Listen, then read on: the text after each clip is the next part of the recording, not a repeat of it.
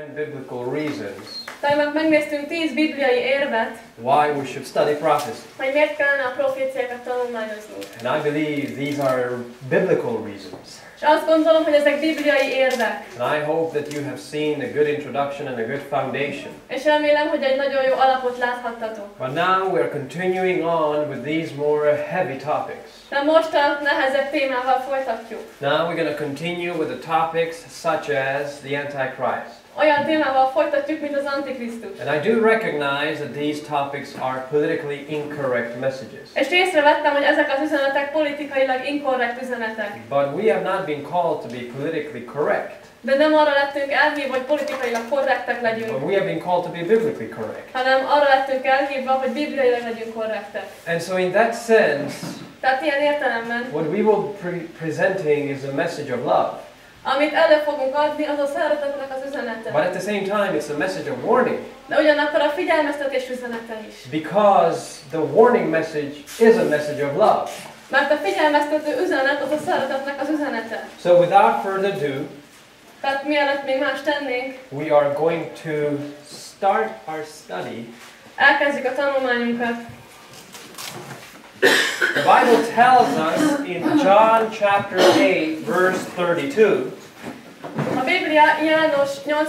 fejezet 20 32. versben azt mondja, And ye shall know the truth, and the truth shall set you free. és megismeritek az igazságot, és az igazság szabadokká tesz titeket. These are one of the most powerful verses in the whole Bible Ezek a legfantasztikusabb igék a Bibliában. because it speaks to human existence. Mert az emberi létezésről szól. Each one of us want to be free. Mindannyian szeretnénk szabadok lenni. No one wants to be enslaved. Senki sem akar rabszolva lenni. No one wants to be put down by anything else. Senki sem akar elnyomott lenni. We want to be free. Szeretnénk szabadok lenni. We want to experience freedom. Szeretnénk a szabadságot megtapasztalni. And it is in this fact that the God of the Bible És ez az a tény, hogy az Bibliának az Istene wants to give to each one of us freedom. Mindannyiunknak szabadságot akar adni. Now, most of us maybe think that that is, once again, antithetical. Talán néhányan azt gondoljátok, hogy hát ez ellentmondásos. Because God has rules, Mert Istennek vannak törvényei, and if I follow the rules, I'm not free. és hogyha a szabályokat követem, akkor már is nem vagyok szabad. Well, you see, when you start to follow God, that is the moment you start to realize that that is where true freedom is. De igazából az a helyzet, hogy amikor az a pillanat, amikor elkezdjük Is- Istent követni, akkor kezdünk igazán szabadokká. When the Bible speaks about truth, Amikor a Biblia az igazságról beszél. the Bible does not necessarily talk about some intellectual knowledge that you need to acquire. A Biblia nem intellektuális tudásról beszél, amit megszerezhetünk. The Bible speaks about truth in the sense of relationship. A Biblia az igazságról a kapcsolat értelmében szól. Truth is not necessarily a theory, Az igazság az nem szükségszerűen csak egy teória, truth is a person. hanem az igazság az egy személy. And who is that person? És ki ez a személy? It's none other than God. Nem más, mint Isten. When you start to realize that each one of us have been created Amikor felismerjük azt, hogy mindannyian for one purpose, egy cél miatt lettünk and megteremtve, that is to have fellowship with God, és ez az, hogy Istennel közösségben lehessünk. when you start to experience this, Amikor ezt elkezded you megtapasztalni, start to realize true freedom. elkezded az igazi szabadságot megtapasztalni. A freedom that doesn't destroy you, Egy olyan szabadságot, ami nem rombol le téged, but a freedom that restores you. Hanem egy olyan szabadságot, ami felállít A freedom where you live not by the rule of do not do this, Egy olyan szabadság, ami nem azokról szól, hogy most ezt ne tegyed, vagy tegyed, but instead you have the freedom to do this. hanem inkább szabadságod van dolgoknak a megtevésére. Freedom to love. Szabadság a szeretetre. Freedom to experience and to give to others the expression of who God is. Szabadság arra, hogy megtapasztalhass, és másoknak is kifejez azt, hogy kicsoda is Isten But valójában. it is a fact that we don't want to experience God. De az tény, hogy nem akarjuk megtapasztalni Isten. Because within us, Mert magunkban, in our fallen human nature, ami bukott emberi természetünkben, in our selfishness, az önzésünkben, we don't want to follow God's nem ways. akarjuk Isten útjait And We believe that our ways are the right ways. Azt gondoljuk, hogy a mi utaink a helyes utak. But as long as we go on our own ways, disregarding God's law, De ameddig a saját utunkat követjük, és figyelmen kívül hagyjuk Istennek a törvényét, until then we do not experience true freedom. egészen addig nem tapasztalunk igazi szabadságot. Actually, we are discovering a counterfeit freedom. Hanem igazából a szabadságnak egy ilyen meghamisítását fedezzük. So that's the invitation I want to give to you, not only this morning, but this entire week. Szóval ez a meghívás, amit szeretnék nektek adni nem csak ma reggel, hanem az egész hétre. And ye shall know the truth, És megismeritek az and igazságot. the truth shall set you free. És az igazság szabadokká tesz Now, a couple of verses later, what does the Bible say? Néhány igeversel később mit mond a Biblia? Who is it that sets us free? Ki az, aki megszabadít bennünket? The Son shall set you free. A fiú az, aki megszabadít. And if the Son sets you free, És then you are free indeed. akkor valósággal szabadokká lettek. Let us come to this topic Nézzük meg ezt a témát from the perspective of truth. az igazság szemszögéből. But a truth which is not about me being beating you down, De egy olyan igazság, ami nem arról szól, hogy most én téged így jól leverlek, because that's too many preachers have done that. mert elég sok predikátor ezt már megtette. Instead, I want to invite you to experience freedom as Scripture reveals it. Hanem szeretném, hogy megtapasztalod az igazságot úgy, hogy a Szentírás bemutatja. If you go to the next slide, in Revelation chapter 14, Jelenések könyve 14. fejezetében we are actually invited to understand a very specific Bible verse. meghívást kapunk arra, hogy megértsünk egy nagyon különleges, jelentőségteljes bibliai verset. Just before Jesus returns, Pontosan Jézus visszajövetele előtt a message will go out egy üzenet kimegy, that will go to the whole world ami elmegy az egész világra, that will prepare the world for the imminent return of Jesus Christ. ami felkészíti a világot Jézus Krisztus hamari visszajövetelére. And you know what? This message is the message for our days. És ez a mai napok üzenete. This message is the message that needs to be preached. Ez egy olyan üzenet, amit prédikálnunk And kell. I am happy that you are here with us this week, És örülök, hogy itt vagy velünk ezen a as you héten. will able to understand as never before Hogy úgy megérthess még, mint soha még this előtt. significant message. Ezt a jelentőségteljes üzenetet. Verses 6 to 9 in chapter 14, Jelenések könyve 14. fejezet 6-tól a 9. verse. we read, Következőt olvashatjuk. Then I saw another angel that is a messenger. És láték más angyalt az ég közepén repülni, az angyal, aki küldött. Fly in the midst of heaven, having the everlasting gospel to preach to those who dwell on the earth, to every nation, tribe, tongue, and people. Akinél van az örökkévaló evangélium, hogy a föld lakosainak hirdesse az evangéliumot, és minden nemzetségnek, és ágazatnak, és nyelvnek, és nép. This is an urgent message. Ez egy sürgős üzenet. It flies into heaven. Az égen repül, And this goes to everyone. és eljut mindenkihez. Every single person needs to make a decision. Minden egyes embernek döntést kell hoznia. And the decision is about whether to accept the gospel or to reject the gospel. És a döntés arról szól, hogy vagy elfogadjuk az evangéliumot, vagy pedig elutasítjuk az And the evangéliumot. gospel is given in three different messages. És az evangéliumot három különféle üzenetben mutatja meg. Verse 7 says, saying with a loud voice, Hetedik vers azt mondja, hogy ezt mondja nagy szóval. Fear God and give glory to him, for the hour of his judgment has come. And worship him who hath made the heavens and the earth, the sea and the springs of water. Ezt mondván nagy szóval, féljétek az Istent, és néki adjatok dicsőséget, mert eljött az ő ítéletének órája, és imádjátok azt, aki teremtette a mennyet, és a földet, és a tengert, és a vizek forrását. Then comes the second angel, Aztán jön a második angyal. saying, Babylon is fallen, is fallen, that great city, because she has made all nations drink of the wine of the wrath of her fornication. Leomlott, leomlott Babilon a nagyváros, mert az ő paráznaságának halálborából adott inni minden pogány népnek. And verse 9, and the third angel followed them, saying with a loud voice, If anyone worships the beast and his image, and receives his mark on his forehead or on his hand,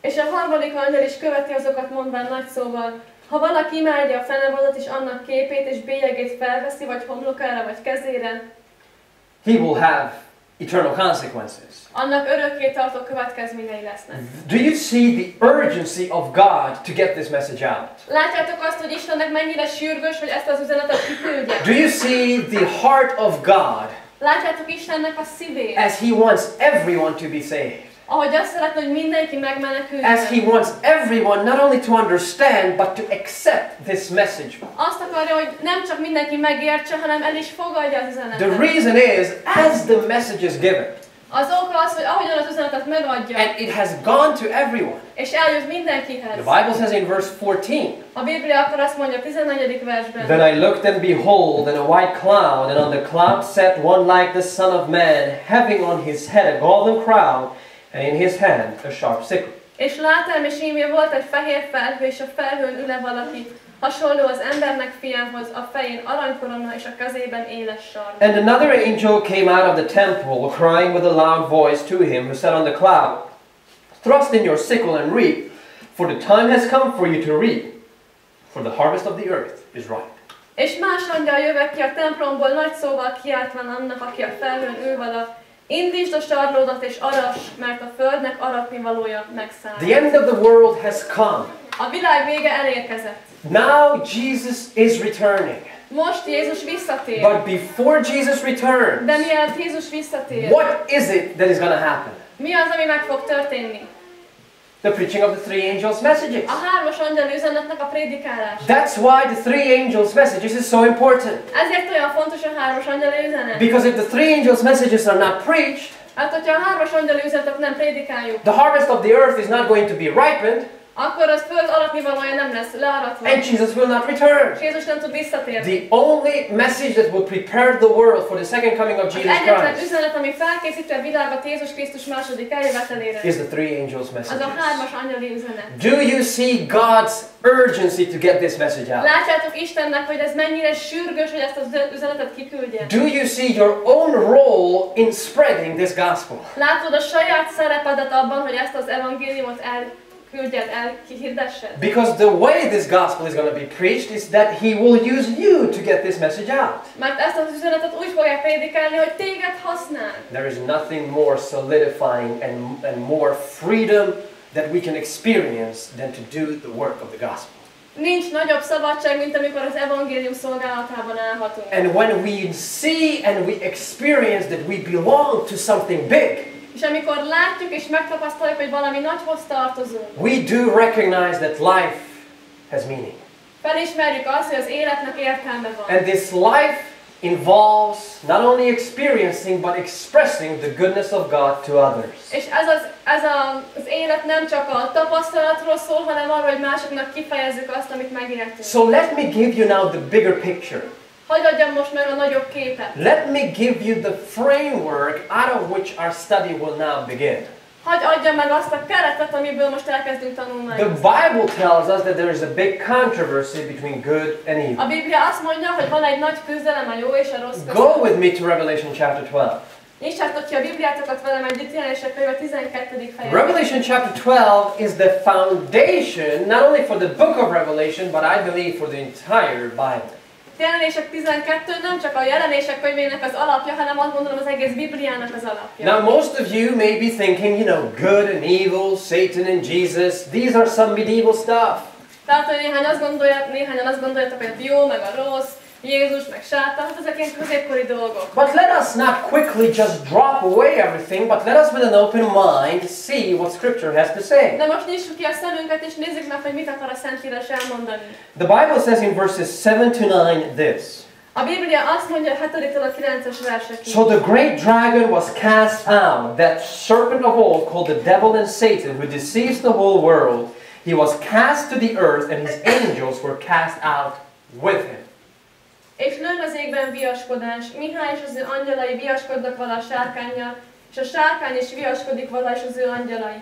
De nem vehetnének diadalmat, és az ő helyük sem találtaték többé a mennyben. But they did not prevail, nor was a place found for them in heaven any longer. So the great dragon was cast out, that serpent of all, called the devil and Satan, who deceives the whole world. He was cast to the earth, and his angels were cast out with him.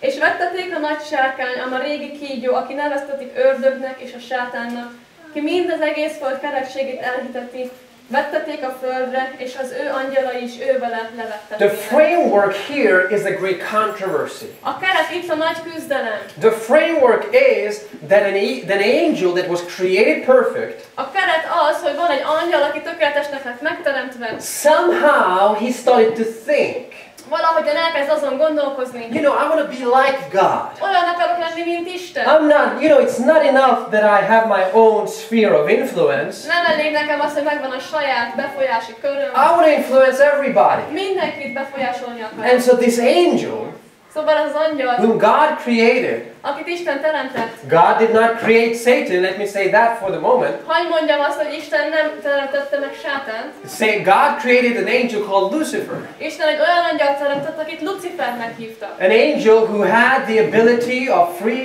free, the freedom of thought and the freedom to exercise. Egy olyan angyal akinek megvolt a szabadság, hogy gondolkodjon, hogy gyakorlat, gyakorlatozzon. And by his own choices, Lucifer became Satan. És a saját döntése következményeként Luciferből sátán lett. God created Lucifer, Isten te, Lucifer but teremtette, Lucifer created Satan. de Lucifer sátánt teremtett. So don't ever say that God created Satan. Szóval soha nem mondd azt, hogy Isten sátánt God teremtette. created a beautiful angel. Isten egy gyönyörű angyal But teremtett. this angel somehow disregarded God De valahogyan ez az angyal elutasította and Isten, started to rebel against God. és elkezdett Isten ellen lázadni. The Greek word for war in verse 7 in the A Bible hetedik versben sz- szereplő háború, Do- a, az a szó annak a görög mm, jelentése, is polemos. az, hogy polémos. That's where we have the word polemic from. Innen van az a szavunk, hogy polémikus. That's the word argumentation. Innen származik az a szavunk, hogy érvelés. So when the Bible says that there was war in heaven, Szóval amikor a Biblia azt mondja, hogy háború volt a don't mennyben, necessarily see that this is a boxing match between good angels and bad angels. ne szükségszer, szükség, szükségszerűen ne úgy lássátok, hogy ez egy ilyen boxmeccs a jó meg a rossz angyalok között. This is a war about your mind. Ez egy olyan harc, ami az értelemért folyik. This is a war for what you think. Ez egy olyan harc, ami a gondolataidért folyik. Because the Bible says, whatever is in your heart, so shall you be. Mert a Biblia azt mondja, hogy bármi is van a szívedben, olyan vagy te. And so this war is a war of philosophy. Tehát ez a háború a filozófiának a harca. The, philo- the war is about is God's philosophy right or is the devil's philosophy Arról szól, hogy right? vajon Isten filozófiája helyes, vagy pedig az ördög If we go forward, De tovább megyünk. the Bible tells us in Ezekiel chapter 28 A Biblia azt mondja Ezékiel 28-ban, the source of what happened to Lucifer. megmutatja a forrást, hogy mi is történt Lucifer. Those of you who have your Bibles with you, go with me to the book of Old in the, to the Old Testament. Azok, akik elhozták a Bibliájukat, nyissuk ki a Bibliánkat Ószövetségnél, Ezékiel könyvénél. And here we will see a fascinating passage És itt egy lenyűgöző szakaszt találunk about this angel Lucifer. Lucifer nevű angyalról. Ezekiel chapter 28, Ezékiel 28, and I'm reading from verse 12 to 15. 12-től a 15-ös versikig olvasok. Son of man, take up a lamentation for the king of Tyre and say to him, Thus says the Lord God, You were the seal of perfection, full of wisdom and perfect in beauty.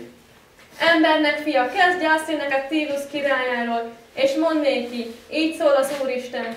Te voltál az aranyosság pecsétgyűrűje, teljes bölcsességgel, tökéletes szépségben. You were in Eden, the garden of God. Édenben, Isten kertjében And then the last verse was prepared for you on the day you were created. Aranyból készültél a napon, melyen teremtettél. You were the anointed cherub who covers. Voltál felkánt, oltalmazó kérub. I established you, you were on the holy mountain of God. És úgy állattalak téged, hogy Isten szent hegyén voltál. You walked back and forth in the midst of the fiery stones. Tüzes kövek közt jártál. You were perfect in your ways from the day you were created, till iniquity was found in thee. Fedhetetlen voltál utaidban attól a naptól fogva, melyen teremtettél, míg gonoszság nem találtaték benned. So, what do we discover here? Something really, really remarkable.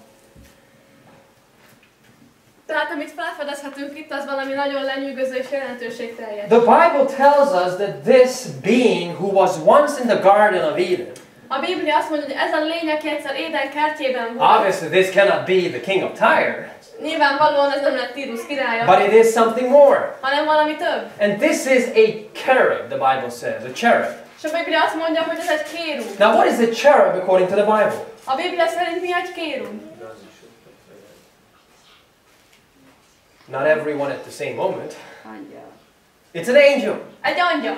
And an angel who was created by God. Egy olyan angyal, akit Isten teremtett. But remarkably, there is a fascinating statement that this is a cherub who does what? De van egy lenyűgöző állítás, hogy ez a kérub mit csinál? Covers. Oltalmaz. Covers. Now, the word covers Az a szó, hogy oltalmazó, literally means to defend something. szó szerint azt jelenti, hogy valamit védelmez. So the Hungarian translation is a good translation. Tehát a magyar fordítás az egy nagyon jó fordítás. Because this angel was created for the sole purpose to defend something. Mert az, ezt az angyalt arra lett megteremtve, hogy valamit védelmez. This angel who then started the war in heaven, Ez az angyal, aki egyszer a háborút elkezdte a mennyben, which by the way has come down on planet Earth, ami egyébként lejött a földre. that angel was created to defend something. Ez az angyal azért lett teremtve, hogy valamit védelmez. Now the question then is, Tehát akkor a kérdés most az, what was this angel defending before he started the rebellion? mit védelmezett ez az angyal, mielőtt elkezdte volna a lázadást? Because if we dis- discover what he defended and what he rebelled against, Mert hogyha meglátjuk azt, hogy mit védelmezett és mi ellen lázadt, we will understand the great controversy raging here on planet Earth. akkor megértjük a nagy küzdelmet, ami most a Földön zajlik. We will discover that, wait a minute, we don't need to be deceived. Akkor felfedezzük azt, hogy várjunk csak, hát nem kell, hogy be legyünk csapva. We know the rules of the great controversy. Tudjuk a nagy küzdelemnek a szabályait. Now, the fact of the matter is A lényeg az, that this word cover or covering angels hogy ez a szó, hogy oltalmazó angyal, does not appear many times in the Bible. a Bibliában túl sokszor nem fordul elő. So it helps us in, in our Bible study. Tehát eh, ebből jó bibliatanulmányt lehet folytatni. So, where in the Bible do we discover covering angels? Tehát a Bibliában hol találhatunk még oltalmazó kérubot? This is Bible study. We are studying. Most tanulmányozunk. Mennybe az Úr Jézus is a tehet rajta mellett éppen oltalmazott kérünk. We have in heaven, correct. Igen, a mennyben. Do we have any covering angels that the Bible described here was on planet Earth? Van-e olyan oltalmazó angyal, oltalmazó kérub, amit a Biblia úgy ír le, hogy itt a Földön volt? Let's go to the next pi- picture. Ark of the Covenant. A szövetség ládája. Isn't that the Ark of the Covenant you had two what? A szövetség ládáján, a Frid ládáján kettő micsoda volt? Two covering cherubs. Kettő oltalmazó kérub. And so what the Bible is trying to describe is that one of these angels, Tehát a Biblia azt próbálja leírni, hogy az kettő angyal közül az egyik, this which is a miniature of what is in, in, in heaven, ami egy, ez egy miniatűréje annak, ami a mennyben van. what was one of the angels was Lucifer. Az egyik angyal Lucifer volt. And these angels are covering something. És ezek az angyalok valamit What oltalmaznak. are they covering? Mit oltalmaznak? Now, what was in the Ark of the Covenant? Mi volt a szövetség ládájában? Right, so at the bottom we have the, the law of God. Tehát ott az alján ott volt Isten törvény. We had some other stuff, but let us focus on the law of God. Volt más dolog is ott, de most fókuszáljunk Isten törvényre. So I want you to tell me, I want you to tell me Szóval szeretném, hogyha elmondanátok nekem, what was at the bottom of the ark. Mi volt a szövetség ládájában. One, two, three. Egy, kettő, három. The law of God. Let us say it together. Törvény. Mondjuk együtt. Egy, kettő, három. Törvény. God's law was at the bottom of the ark. Isten törvénye volt a szövetség ládájában. In the Old Testament, where did God manifest himself? Az Ószövetségben Isten hol nyilatkoztatta ki magát? Once per year. Évente egyszer. At the ark of the in the most holy place of the sanctuary, A szentélynek a szentek szentjében, just the, about the mercy seat in between a kegyelem királyi székénél, a frigyládánál, a két oltalmazó kérub között. I don't want you to lose you, to please pay attention. Nem akarnak veleteket most így elbeszélni, szóval figyeljetek! If you understand this, you understand the entire message. Ha ezt megértitek, akkor az egész üzenetet megértitek. So what is at the bottom? Szóval mi van az alapjaiban ennek a figyládának? Mi van az alján? You have the law. Ott van törvény, Isten What törvény. is above the law? Mi van a törvény fölött? The mercy seat. A kegyelem királyi széke. Now, the mercy seat is a symbol of God's throne. A kegyelem királyi széke egy szimbóluma Isten trónján. Now, please follow me, follow me. Figyeljetek, kövessetek! If the mercy seat is here, Hogyha itt van a kegyelem királyi széke, upon which God sits, amin Isten ül, what, trónol, what is the foundation of the throne of God? mi az alapja Isten törvényének?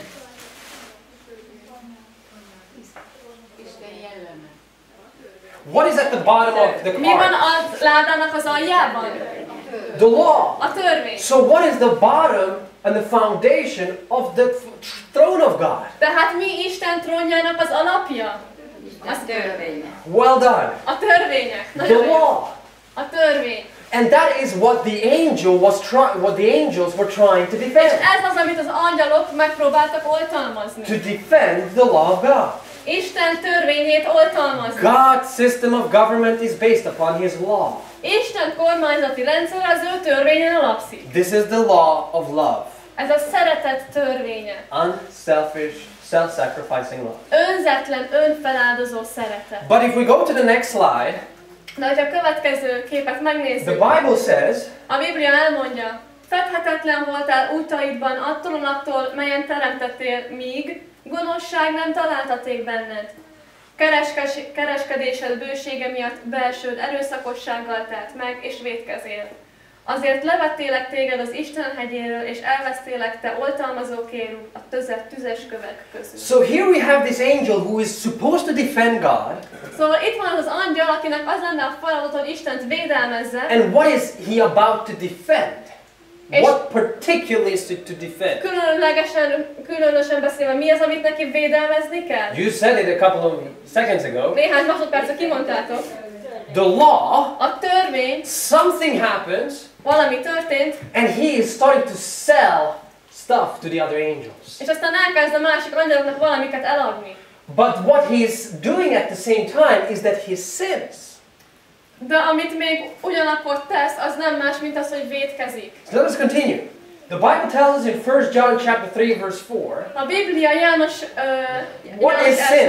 a harmadik között, negyedik versében azt mondja, valaki a bűnt cselekszi, az a törvénytelenséget is cselekszi, a bűn pedig a törvénytelenség. So you see, here we have this angel trying to defend something. Something happens, and he is going against God. Szóval itt van ez az angyal, aki védelmez valamit, aztán valami történik vele, és aztán a törvény ellen fordul. Full-blown rebellion. Totális lázadás. And now he is telling the angels in heaven, you know what? We are not supposed to keep the law because the law enslaves us. És most azt mondja az angyal, hogy tudjátok mit, most már ne tartsuk meg a törvényt, mert a törvény rabszolgákká tesz If minket. we are to be free beings, we are supposed to be beings who do not keep the law. Hogyha mi igazán szabad lények vagyunk, akkor olyan lények vagyunk, akik nem tartják meg a törvényt. The, the war that started in heaven Az a háború, ami elkezdődött a mennyben, was about whose authority you have. Az arról szól, hogy kinek a fennhatóságát fogadod el. Because by following someone, that's the authority you accept. Mert ha valakit követsz, akkor annak a fennhatóságát fogadod el. God says, You follow me, you accept my authority. Isten azt mondja, hogy kövess engem, és fogadd el az én fennhatóságomat. But the devil says, ah, ah, ah, ah, don't follow God, follow your own authority. De az ördög azt mondja, ah, ah, ah, ne Istent kövessed, hanem a saját fennhatóságodat kövess. When we will study this, the war that is here upon planet Earth, Amikor tanulmányozni fogjuk ezt a háborút, ami a Földön zajlik, you will see that the war is about whose authority you accept. Akkor látni fogod, hogy ez a harc arról szól, hogy kinek a fennhatóságát fogadod You el. may have come as a skeptic to this presentation. Lehet, hogy erre az előadásra szkeptikusként jöttél. You may have come as a non-Christian to this presentation. Vagy lehet, hogy úgy jöttél, mint egy nem keresztény. And you may see these things as, you know, what is this religious rubbish? És azt mondod, hogy mi ez a vallási szemét. But at the end of the day, De a nap végén the Bible tells us a Biblia that megmutatja, there is a controversy between good and evil. Hogy van egy küzdelem a jó és a rossz And között. planet Earth is in the midst of this controversy. És a Föld nevű bolygónk a, ennek a konfliktusnak a kellős közepette Because our planet has accepted the rebellion that started in heaven. Mert a mi bolygónk elfogadta azt a lázadást, ami a mennyben And elkezdődött. now there's a full-blown rebellion upon planet Earth. És most egy teljes kiterjedt lázadás történik a Földön. In the next slide, A következő dián we read, azt olvashatjuk. Ézsaiás könyve 14. fejezet 12-től 14. versek. Miként estél alá az égről fényes csillag hajnal fia? Levágattál a földre, aki népeken tapostál, holott te ezt mondd szívedben, az égbe megyek fel, és az Isten csillagai fölé helyezem ülőszékemet, és lakom a gyülekezet hegyén messze északon, felibőkhálok a magas felhőknek, és hasonló leszek a magasságos. Do you start to understand this passage better now? Ezt a szakaszt most már jobban értitek? What is Lucifer trying to set up? Mit próbált Lucifer felállítani?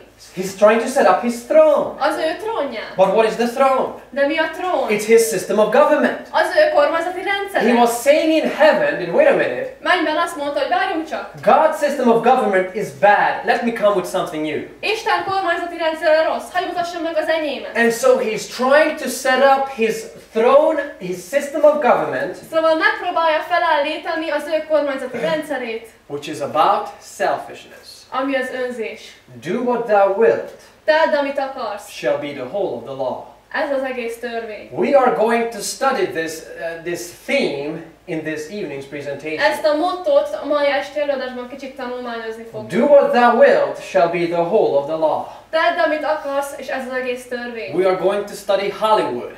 Tanulmányozni fogunk Hollywoodot. We are going to study some of the movies that have come out of Disney. Megnézzünk néhány olyan filmet, amit a Disney We kibocsátott. are going to look at the music industry. Megnézzük a zeneipart. And you will see for yourself És saját magatoknak látni that fogjátok, this is an industry which is not only occult but satanic in its hogy ez egy core. olyan ipar, ami nem csak okkult, hanem sátánis. I know that this is hard word, but you better come to the evening and you will see evidences for yourself. Tudom, hogy ez egy nagyon kemény szó, de jobban teszitek, hogyha eljöttök este, és saját magatok So megnézitek. this system of government is to be put up, Szóval ez a kormányzati rendszert felállítják, and he seeks to be God. és azt keresi, azt mutatja, hogy ő Isten. And we, when we come to the Antichrist, when, when what, we would, what we will do now, Amikor az Antikrisztusról tanulunk, what is the Antichrist trying to do? akkor mit is próbál az Antikrisztus csinálni? Does the Antichrist want to be like God? Yes or no? Az Antikrisztus megpróbál olyan lenni, mint Isten, igen vagy nem? Daniel 7 says he will be like the Most High. It's the exact same Dániel 7 word. azt mondja, hogy olyan akar lenni, mint a felséges, ugyanaz az ige szó. Does the Antichrist want to change times and laws? Vajon az Antikrisztus megpróbálja megváltoztatni az időket és a törvényt? The answer is yes. A válasz az, hogy igen. Who is the author of this confusion? Ki a szerzője ennek az űrzavarnak? Lucifer. Lucifer. The controversy that started in heaven. Az a küzdelem, ami a mennyben kezdődött. So this is the framework out of which we will study and continue our research. Szóval ez az a keret, amiből tanulmányozni fogunk és folytatjuk a, a tanulást. Who is the Antichrist? Ki az Antikrisztus? Let us continue. Folytassuk. Some people say it's Harry Potter. Néhány azt mondják, hogy Harry Potter. Some people say it's Justin Bieber. Néhány azt mondják, hogy Justin Bieber.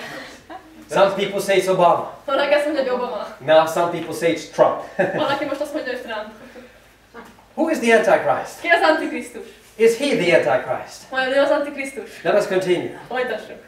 Who is the Antichrist? Ki az Antikrisztus? The Bible tells us in the third angel's message that whoever worships the beast A Biblia azt mondja a harmadik üzenet, angyal üzenetében, hogy akárki, aki imádja a fenevadat, who is the Antichrist, ki is az Antikrisztus? that will follow and have a lot of eternal consequences. Hogyha azt követi, akkor annak örökkétartó következményei The lesznek. word Antichrist, it's not a word to be afraid of. Az a szó, hogy Antikrisztus, hogy nem olyan szó, amitől félnünk kellene, It's a word that the Bible uses. hanem ez egy olyan szó, amit a Biblia használ. The word Antichrist does not necessarily mean a being who is against Christ. Az a szó, hogy Antikrisztus nem szükségszerűen egy olyan lényt ír le, aki Krisztus ellen van. You know, we understand the word anti as being against. Az anti szót úgy értjük meg, hogy valami ellen. But the word anti in the Greek language means to be in the place of.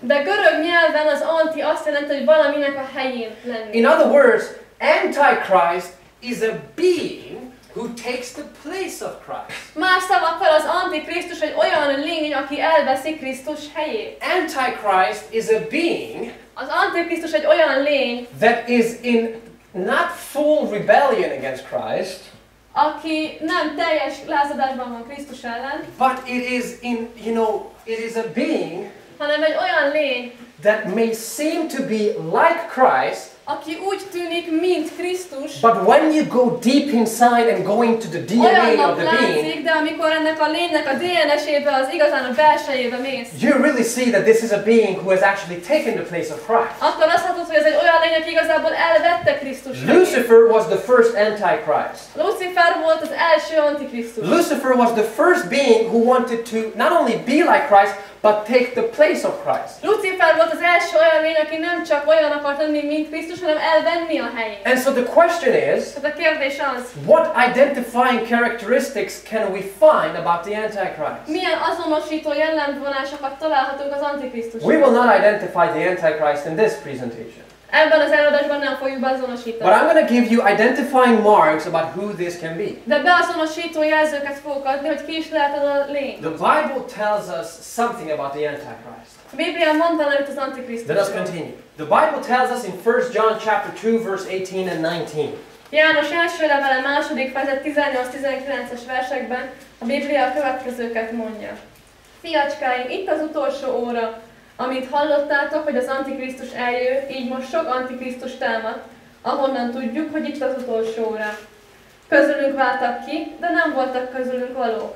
Mert ha közülünk valók lettek volna, velünk maradtak volna, de hogy nyilvánvalóval legyen felőlük, hogy nem mindnyáján közülünk valók. Do you see what scripture is trying to say? Láttátok, hogy mit próbál elmondani itt a Szentírás? In the days of John, János idejében had the Antichrist come? Eljött már az Antikrisztus? No. Nem. Why? Miért? What does verse 18 say? Mit mond a 18. vers? We're studying the Bible. Bibliát I want you to tell me what the scripture says. Szeretném megtudni, mit mond a Szentírás. When is the Antichrist coming? Mikor jön az Antikrisztus? What is he saying? Mit mond? It's not difficult, my brothers and sisters. Nem nehéz testvéreim. Antichrist is coming, Az Antikrisztus majd eljő. which means what time phrase are we talking about? Szóval milyen időről beszélünk, milyen igeidőt használ? Past, Múltat? present, Jelent? Jövő. fr- future. Jövőt? For, for, for John, the Antichrist had not come. János számára az Antikrisztus még nem jött el. Yes, there were people who were doing a lot of mess at this Igen, voltak olyan emberek, akik nagyon sok problémát okoztak ebben az But the. Antichrist, which the Bible predicts, for him he says it's in the future. De az az Antikrisztus, amit a Biblia megjövendől, amiről ő ír, azt mondja, hogy ez még a jövőben van. So why do some Christian churches say Tehát akkor miért mondja néhány keresztény egyház, that the Antichrist was Antiochus Epiphanes IV, hogy a negyedik Antiochus Epiphanes volt az Antikrisztus? who was a Greek king in the second century before. Christ? Krisztus előtt második században. It doesn't make any sense. Ennek semmi értelme nincs. Because John says the Antichrist is in the future. Mert János azt mondja, hogy az Antikrisztus majd a jövőben That in itself completely destroys the concept which some Christian churches Tehát ez önmagában teljesen tönkreteszi azt a gondolatot, amit néhány keresztény So the Antichrist is coming, says the Bible. Tehát a Bi- Bi- Biblia azt mondja, az Antikrisztus eljön. Let us continue. The Bible uses the symbolisms A Biblia olyan szimbólumokat használ, such as the beast in Revelation 13, mint Jelenések 13-ban a fenevad, the little horn in Daniel 7, which we'll study in the Dániel evening, 7-ben a kis szarva, amit este or tanulmányozunk, the man of sin, which we'll study now. vagy pedig a bűnember, amit most tanulmányozunk. These are different symbolism for the same identity. Ezek különféle szimbolizmusok ugyanarra az azonosságra. These are not different persons, Ezek nem különféle személyek, but these are different symbols that are used for the same being. hanem különféle szimbólumokat használ ugyanarra a lényre. John describes him in this way, János ilyen módon írja le. and Daniel, he describes him in a certain way. Dániel is meghatározott módon írja le. And Paul describes him in a third way. És Pál harmadik féleképpen fejezi But still they speak about the same being. De még mindig ugyanarról a lényről beszél. So the rest of our time, we will spend our time in 2 Thessalonians chapter 2 before we Időnk end. hátra levő részét, mielőtt befejeznénk, tesz, 2 Tesszalonika 2-vel So we remain in the New Testament, but we go a little bit back. Új szövetségben maradunk, de jelenésekhez képest kicsikét.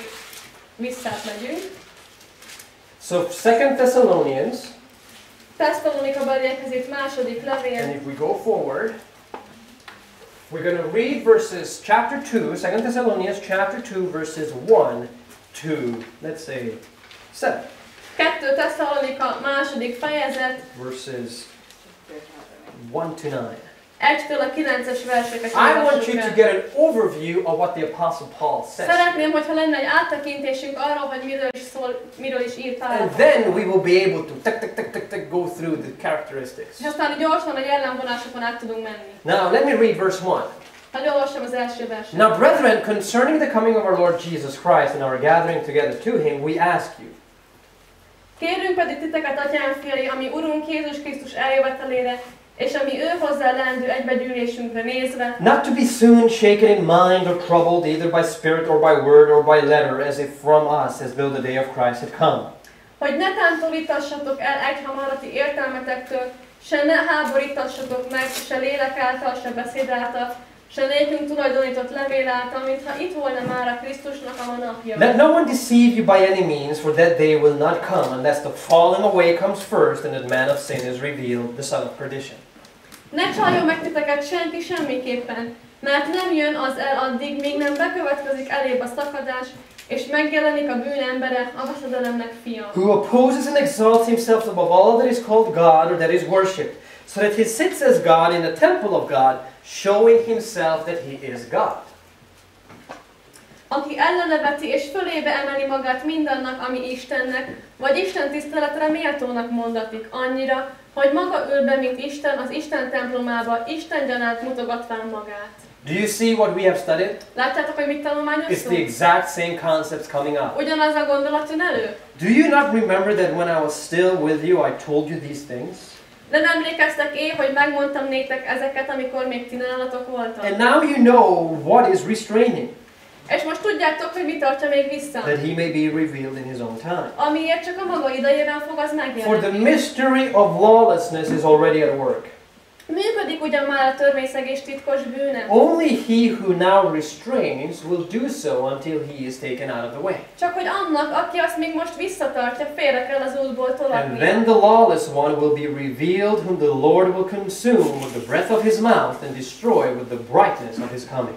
És akkor fog megjelenni a törvénytaposó, akit megemészt az Úr az ő szájának lehelletével, és megsemmisíti az ő megjelenésének The coming of the lawless one is according to the working of Satan, with all power, signs, and lying wonders. Akinek eljövetele a sátán ereje által van a hazugságnak minden hatalmával, jeleivel és csodáival. So these are the overview, okay? Tehát ez egy ilyen áttekintés. This is what the Apostle Paul says that, wait a minute, something is going to come. Erről beszél Pál apostol, hogy valami el eh, fog jönni. He says something is already happening in our own Azt time. mondja, hogy valami már most is történik, működik, And he says, but it's but it's it's still in the future though. de azt mondja, hogy még mindig a jövőben van. And this is going to continue until Jesus returns. És egészen Jézus visszajöveteleig folytatódik. Because Jesus will destroy the Antichrist. Mert Jézus fogja lerombolni az Antikrisztust. Now, fascinatingly, in verse 1 and 2, Nagyon lenyűgöző, hogy az első kettő versben we, we are told that Paul had already written a letter to the Thessalonians. azt láthatjuk, hogy Pál már írt egy levelet a Tesszalonika belieknek. And Paul, in his first letter to the Thessalonians, is basically saying, Jesus is coming soon.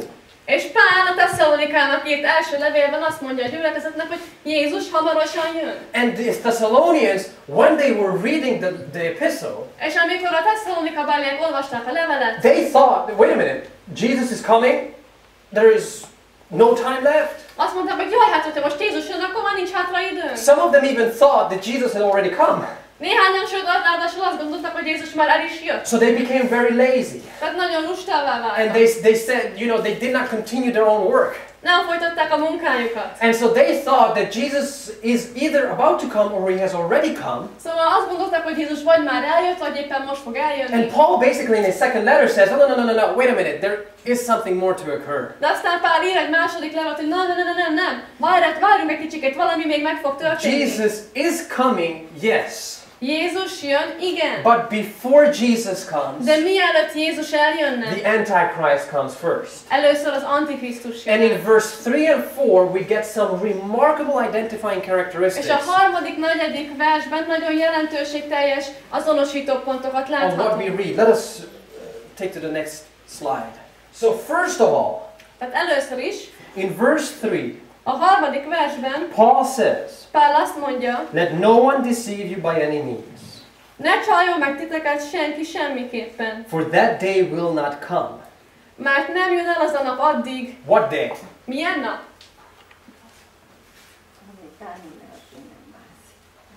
The second coming, right? A második eljövetel. The second coming will not come until A második eljövetel nem jön el addig, amíg these things happen. Ezek a dolgok meg nem történnek. What are these things? Mik ezek a dolgok? First, Először is. my Bible says, unless the falling away comes first. Az én Bibliám azt mondja, hogy még nem bekövetkezik elébb a szakadás. What's falling away? Mi az a szakadás? The Greek word that is used there is apostasy. Itt azt a görög szót használja, amit apostáziának mondhatunk. The word apostasy literally means to abandon the truth in God. Az apostázia szó azt Not, not jelenti, literally, but the, the, the, the, metaphys- the metaphorical uh, notion of it. a metaforikus gondolat mögötte az, hogy az igazságot figyelmen kívül hagyni. And so what that means is that Paul basically says that soon in the future, apostasy in Christianity will occur. Tehát Pál azt mondja, hogy hamarosan a kereszténységben lesz egy ilyen apostázia. It's not an apostasy in the world, Nem a világban. Because the world has been in apostasy since that sin has entered the world. Mert mióta a bűn belépett a világba, azóta a világ apostáziában van. Paul is speaking about the church. Pál az egyházról beszél. And Paul basically says, in, Pál tulajdonképpen azt mondja, you look into the future and it seems as the Christian church is going to fall. Ahogy belenézel a jövőbe, úgy tűnik, hogy a keresztény egyház elbukik. Paul in the book of Acts had said, Pál azt mondta az apostolok cselekedetében, after I leave, miután én elmegyek, preachers and people clothed in wolf, you know, clothed like wolf, will enter in among the flock. bárány bőrbe bújt farkasok, ilyen prédikátorok jönnek a nyájhoz. Paul first says that before Jesus can come, there will be an apostasy. Pál azt mondja, hogy mielőtt Jézus eljönne, lesz egy apostázia, Next slide. kitefagyás. But then we are told, Úgy folytatja tovább, so that no one deceive you by any means, for that day will not come unless the falling away comes first, and the man of sin is revealed, the son of perdition. ne csaljon meg titeket semmi semmiképpen, mert nem jön el az a nap addig, míg nem bekövetkezik elébb a szakadás, és megjelenik a bűn embere, a veszedelemnek fia. Who is the son of perdition? Ki a veszedelem fia? And what does it mean? És mit jelent? You see, the Bible uses the son of perdition, this term, only once in the entire New Testament. Az egész új szövetségben a Biblia csak még egyszer használja a veszedelem fia szót. Go with me to John chapter 17. Nyissuk meg a Bibliát János 17-nél. John chapter 17 and verse János 12. evangélium a 17. fejezet 12-es vers. These are the words of Jesus. Ezek itt Jézus szavai. And Jesus says Jézus azt mondja, something remarkable valami jelentőségteljes. because it tells us two things, and these are fascinating stuff. Ezek lenyűgöző dolgok. Két dolgot említ. Scholars are saying that Thessalonians, Second Thessalonians, was written around 50 AD. A Biblia kutatók, a tudósok azt mondják, hogy Tesszalonika itt második levelet, körülbelül Krisztus után olyan 50 környékén Paul uses the phrase the son of perdition, Pál használja a veszedelem fia kifejezést. but he takes it from Jesus, De ezt a kifejezést Jézustól veszi. particularly from the Gospel of John. Egész pontosan János evangéliumából. Now, if Second Thessalonians was written in 50 AD, Hogyha a második kettő Tesszalonikát Krisztus után 50-ben írták, and, and, and he takes it, the phrase son of perdition, from the Gospel of John, és azt a kifejezést János evangéliumából veszi, hogy veszedelem fia, did the Gospel of John, in one sense or the other, exist before Second Thessalonians? Yes or akkor no? ilyen értelemben a János evangéliumban létezett-e kettő Tesszalonika előtt? The answer is yes. Válasz az, hogy igen. Because he takes the phrase son of perdition from the Gospel of John. Mert az veszedelem fia kifejezést János evangéliumából veszi. People say the Gospel of John was written 70, 80, 90 AD. Néhány ember azt mondja, hogy Krisztus után 70-ben, 80-ban, 90-ben, 90-ben íródott csak a János Not evangéliumban. necessarily. De nem szükségszerűen. It can be around 40 AD, Akár 40 körül is megírhattam which is revolutionary, but that's another topic. Ami eléggé lenyűgöző, de hát ez már egy másik téma. Verse 12, Szóval János 17-12. the Bible says, A Biblia így szól. Mikor velük valék a világon, és meg, én megtartam őket a te nevedben, akiket nékem adtál, megőrizém, és senki el nem veszett közülök, csak a veszedelemnek fia, hogy az írás beteljesüljön. Who is the son of perdition according to Jesus? Jézus szerint ki a veszedelem fia? Judas. Igen, Yes, Judas. Júdás. In the next presentation, we will see Lady Gaga singing about Judas. Következő előadásban látjuk, amikor Lady Gaga Júdásról énekel. But you come in the evening. De gyertek el az este. Who is Judas? Ki urat. He was the one that betrayed Jesus. Ő volt az, aki megtagadta Jézust. But he said he loved Jesus. De azt mondta, hogy szerette Jézust. Right? Igen? He said he loved Jesus. Azt mondta, szerette Jézust. Was Judas someone who was outside of the church or inside the church? Júdás olyan volt, aki az egyházon kívül volt, vagy aki az egyházon belül volt? Belül. Inside. Belül. Because Judas was one of the followers of Jesus. Mert Júdás Jézus egyik tanítványa volt. And that's why-. And that's why it is so dangerous that this betrayal did not come from the outside. És ezért olyan veszélyes, hogy ez az árulás az nem kívülről jött, hanem belülről. So when Paul speaks about that there will be this antichrist that will come in the future, Szóval amikor Pál beszél az Antikrisztusról, aki majd a jövőben eljön, Paul uses the term son of perdition Pál azt a kifejezést használja, hogy veszedelem fia, and associated with the antichrist. és az Antikrisztussal hozza kapcsolatba. Meaning that Judas and what he did Ami azt jelenti, hogy Júdás és amit ő tett, is similar to what the antichrist is going to do. az hasonló ahhoz, amit az Antikrisztus is tenni fog. Next slide. Can you please read it? Júdás keresztény bőrbe bújt ördög volt, benfentes, aki Krisztus követőjének vallotta magát, és rajta keresztül sátán keresztény állarc mögé bújva tevékenykedett. So here we see that Judas is a type of the antichrist. Itt láthatjuk azt, hogy Júdás az Antikrisztusnak egy típusa, tipológiája. And so when we speak about the antichrist, Szóval amikor az Antikrisztusról beszélünk, what are Christian churches today saying about the antichrist? mit mondanak ma a keresztény egyházak az Antikrisztusról? That the antichrist is a what? Hogy az Antikrisztus micsoda? Is a Jew Egy zsidó, who is going to come from the Middle East aki a középkeletről fog jönni. and who will literally sit in the temple of God. És aki szó szerint ott fog ülni Isten templomába. Is a Jew someone who is inside the Christian church or outside the Christian church? Egy zsidó az olyan a keresztény egyházon belül van, vagy kívül van? Outside. Kívül.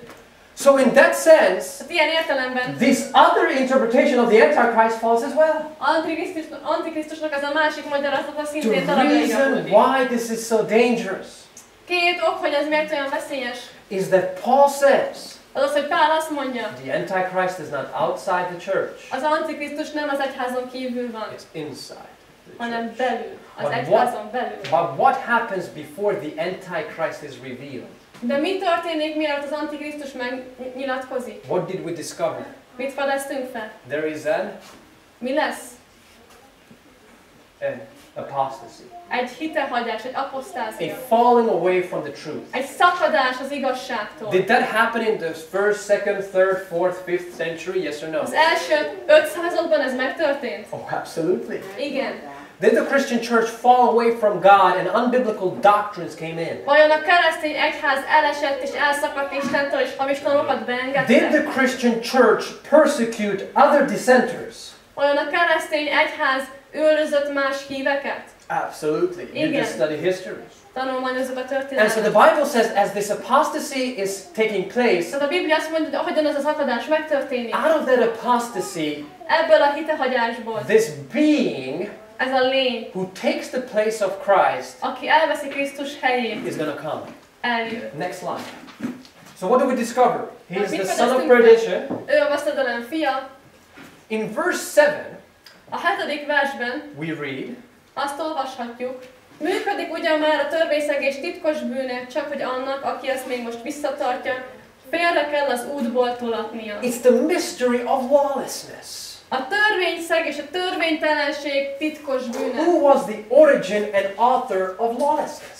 Ki a törvénytelenségnek a szerzője és eredeztetője? Lucifer, Lucifer, who, who chose to become Satan. aki úgy döntött, hogy sátánná vált. And so within the church, Tehát az egyházon belül this is remarkable stuff, my ez friends. nagyon le- jelentőségteljes barátaim. Bible makes the prophecy that within the church, A Biblia olyan proféciát ad, hogy az egyházon belül the agenda of Satan will continue to go forward. sátán agendája el tud növekedni, növekedni. So when atheists and skeptics come to me Szóval amikor az ateisták és a szkeptikusok hozzám jönnek, and they say, I cannot be a Christian because I cannot be a Christian because I see what the Christian church has done, azért nem akarok keresztény lenni, mert láttam, hogy mit csinált a keresztény egyház. I say, Praise the Lord. Azt mondom, hogy dicsőség az Úr. Because the Bible has predicted that the church would fall into apostasy and do these different things. Mert a Biblia megjövendölt, hogy a keresztény egyház ezeket a dolgokat fogja tenni, hitehagyásba fog esni. I would not become a Christian either.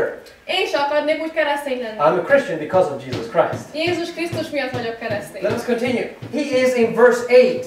Nyolcadik versben Let us read. azt mondja, és akkor fog megjelenni a törvénytaposó. Who, wh- what is it doing? Mit csinál? What is it doing? Mit csinál? It tramples upon the law. Eltapossa a törvényt. Did Satan try to change the law of God in heaven? Sátán megpróbálta Isten törvényét a mennyben Did he try to set up his own system of government? Megpróbálta a saját kormányzati rendszerét felállítani. Absolutely. The Igen. Antichrist as well is going to Az Antikrisztus is going to trample upon the law of God. Megpróbál Isten törvényére And we rátaposni. will see the identification in the next one. That's the man of sin or the man of lawlessness. Ő a bűn embere, a törvénytelenség embere. We go to 2 Thessalonians chapter 2 2 Tesszalonika 2. and we read something remarkable. Valami jelentőségteljeset olvasunk Scripture tells us that it is going to sit in the temple of God. A Szentírás azt mondja, hogy Isten templomába fog ülni. Now, what is the temple of God? Mi Isten temploma? What are Christians generally saying this temple is? A keresztények általánosságban mit mondanak? Mi az a templom?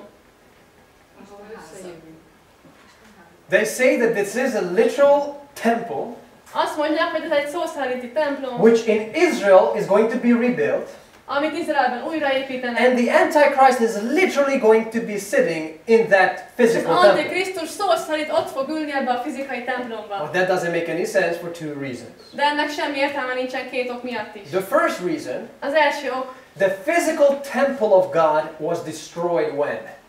Isten fizikai templomát mikor rombolták le?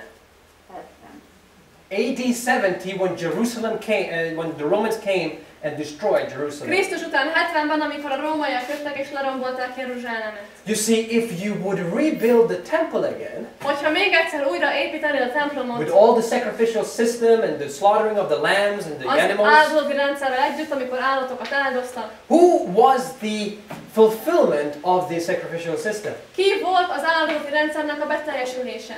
Jézus Krisztus. Jesus Christ. So if you would once again rebuild a, a temple Szóval, ha újra fel akarnád építeni ezt a templomot, with the sacrificial system and with the, and, and with the lambs and with everything, aren't you trying to make away what Jesus has done on the cross? akkor nem lehetséges, hogy el akarod törölni azt, amit Jézus tett. Yes. So in that sense, it is not the temple of God, it is the temple of the anti-God. akkor az nem az Isten temploma lenne, hanem az anti-Isten templom. But secondly, Paul says Pál azt mondja, that the word for temple is the word naos. Az a szó, amit templomként fordítanak, az a naos szóból We ered. don't have any time to go through all the scriptures that Paul is using. Nem tudunk átmenni minden szentírási szakaszon, amit Pál használ, But the word naos, according to the writings of Paul, de Pál írásaiban a naos szó all writings, minden írásában he uses it unanimously. ezt állandóan használja. The naos is the church of God. A naos szót Isten egyházára használja. us go to 1 Corinthians chapter 3. Nézzük meg 1 Korintus 3-at. 1 Corinthians chapter 3, 1 Korintus 3, and we read in verse 16. 16. ve- fejezetben, versben. 1 Corinthians 1 Korintus, chapter 3, harmadik fejezet, verse 16. 16-os vers. Nem tudjátok ki, hogy ti Isten temploma vagytok, és az Isten lelke lakozik bennetek? Paul is speaking in plural. Pál itt többes számban beszél. He's speaking to the church in Corinth. Korintusbeliekhez a gyülekezetnek szól. He makes a similar statement to the Ephesians. Hasonló állítást mond az Efézusbelieknek. And Paul is basically saying that don't you know that you are the temple of God? Pál azt mondja, nem tudjátok, hogy ti az Isten temploma vagytok? Don't you know that the church is the temple of God? Nem tudjátok, hogy az egyház az Isten temploma? What Paul is basically saying, both in Second Thessalonians, A Pál, amit mond 2 Tesszalonikában, is that the Antichrist is going to be revealed after the apostasy, hogy az Antikrisztus megjelenik a hitehagyás után, and he is going to be set up his own system of government in the church. és felállítja a saját kormányzati rendszerét az egyházon belül. The Antichrist is not someone outside, but the Antichrist is someone nem valaki, inside. aki kívülről jön, hanem valaki, aki belülről támad. Now, I do recognize that these are really, really hard stuff to, to melt. Tudom, hogy ezek nagyon kemény dolgok, amiket nehéz emészteni. But the Bible says it. De a Biblia azt mondja. And Scripture says that we need to warn people about this. És a Biblia azt mondja, hogy figyelmeztetnünk kell az But embereket. I'm doing it with a passion of love for each one of us. De ezt szeretettel mondom. If we go forward, Folytatjuk. now this preacher, Gatan, Gatan Gin, is one of the most powerful preachers. Gratan Ginic az egyik leghatalmasabb prédikátor, He said, a következőt mondta. Figyeld meg azt a helyet, amit a bűn embere elfoglalt, a templomot, vagyis Isten házát. Ez nem lehet egy zsidó templom.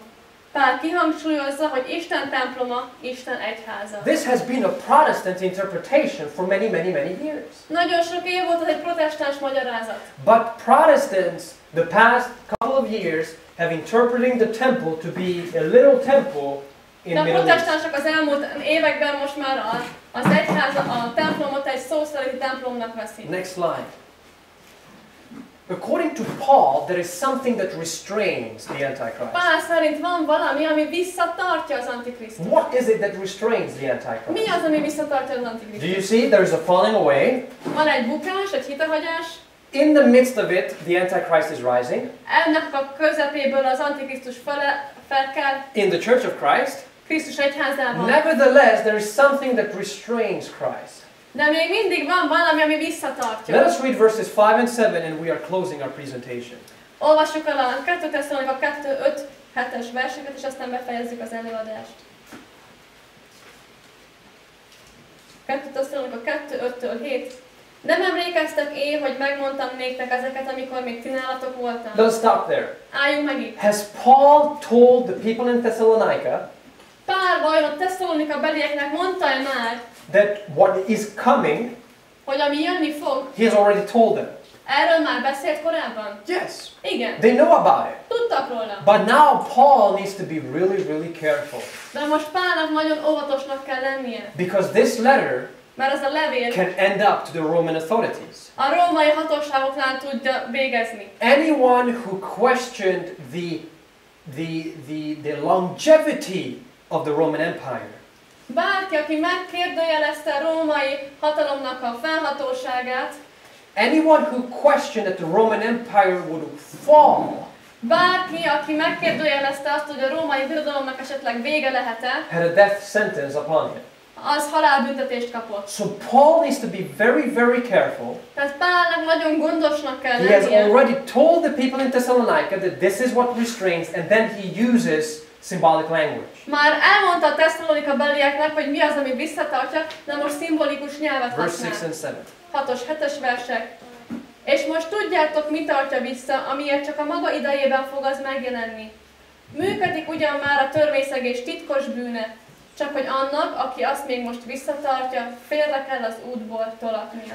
There's someone who restrains the Antichrist. Van valaki, aki visszatartja az Antikrisztust, it's like someone says, no, you're not going further. mint hogyha valaki azt mondja, hogy nem, nem, még nem mehetsz tovább. But as that person is restrained or put aside, De ahogyan ő félreáll majd, the Antichrist can come. Akkor az Antikrisztus el tud jönni. Not meaning that she is Antichrist, this was just an illustration. Ez csak egy illusztráció volt, nem ő az Antikrisztus. So who is the restrainer? Tehát ki az, aki visszatartja? Now, because Paul had said it to the Thessalonians, Pál azt mondta a tesszalonikaiaknak, this is, this is to be a well-known thought in the early church. egy jól ismert gondolat lesz az a korai And egyházban. this is what we find in the writings of the early church fathers. És a következőket találtuk a korai egyházatják írásaiból. Let's read.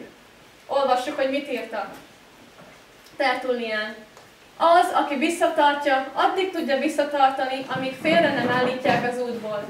Mi más az az akadály, mint a római állam, amely tíz királyságról szakad, és amelyből az Antikrisztus támad. So here we are in the second and third century. Itt vagyunk a második, harmadik században, And the early church fathers are recognizing that what Paul is speaking about, the restrainer, is the és a Roman korai Empire. egyházatyák felfedezik, hogy amiről itt Pál beszél, az nem más, a visszatartó nem más, mint a római birodalom. And they say as Rome is going to fall, És azt mondja, hogy a Róma majd elbukik. how many pieces is going to be, or parts is going to be divided into? Hány részre fog szakadni?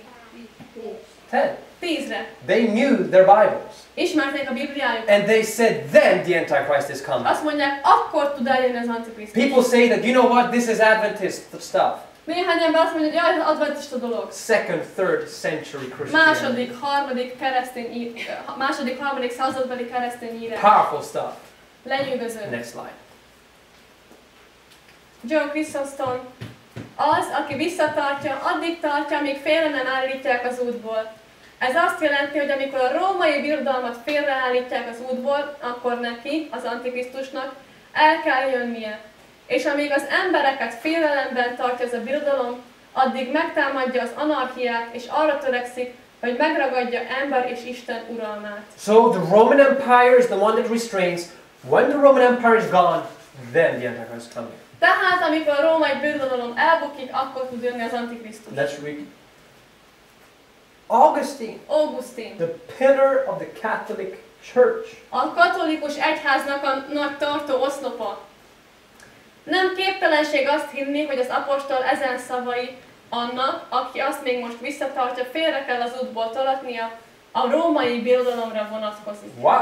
Azt a... They knew who the restrainer was. Tudták, hogy ki a visszatartó. Roman Empire, but as Róma it is gone, de hogy annak vége lesz. and let us take a look at a modern Baptist. És nézzük meg egy modern baptistát.